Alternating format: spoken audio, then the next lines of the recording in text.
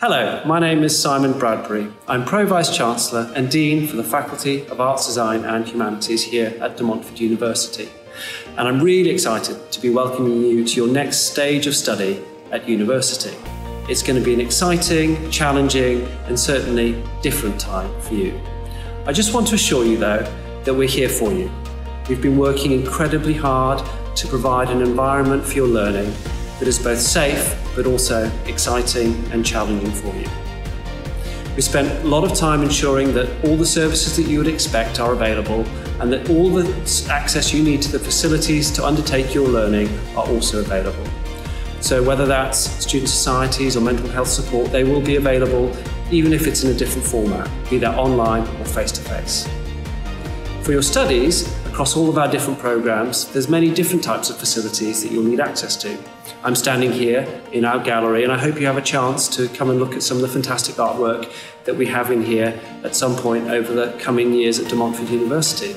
And for your courses, you'll need access to all sorts of different types of spaces, be that workshops, performance spaces, or the library. I can assure you that you will have access to those facilities for your course, albeit in a slightly different format than previous years. So look out for your timetable and talk to your tutors and your academics to find out more information. We've sent you lots and lots of information before you got here. Lots of information you'll need in the short term and also the medium term. So please take time to look through that. It'll answer many of the questions you have now or may well have in the future. When you're studying with us, please look out for your personal tutor. Should you have any questions about your academic study, they are a very helpful first point of contact. Any questions you might have, they can support you. In addition, of course, you've got your programme and subject teams, you've got your wider school, heads of school, and other academics. There are lots of people to ask questions, so please come forward if you're unsure. We're here to support you and help you through your learning. Whenever you come to university, you have lots of questions, and this year, more than ever, I'm sure you will have lots of things that we can help you with and we can give you answers for.